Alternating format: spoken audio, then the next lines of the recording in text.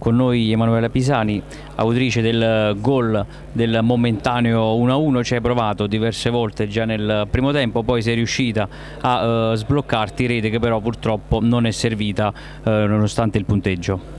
Sì, da, diciamo che sono riuscita a sbloccarmi io con il mio primo gol di quest'anno in campionato, però non è servito a portare i tre punti a casa.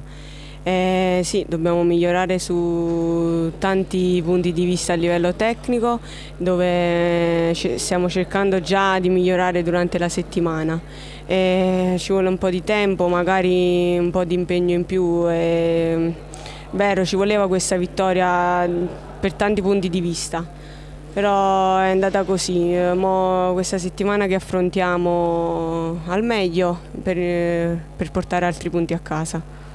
Non è stata comunque una settimana sicuramente semplice per voi, per quello che è accaduto alla vostra compagna, come abbiamo detto anche in telecronaca a Veronica Moscillo, come vi siete preparate in settimana, dunque una settimana molto turbolente.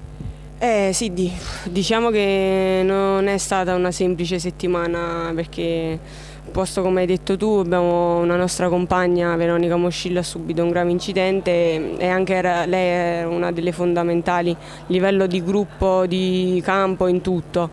Abbiamo cercato di prepararla il meglio possibile anche per lei anche se volevamo dare tutto il massimo come abbiamo dato il massimo tanti tiri fatti in porta non abbiamo segnato, magari è un nostro limite che dobbiamo migliorare in settimana e dobbiamo lottare di più e farlo anche per lei.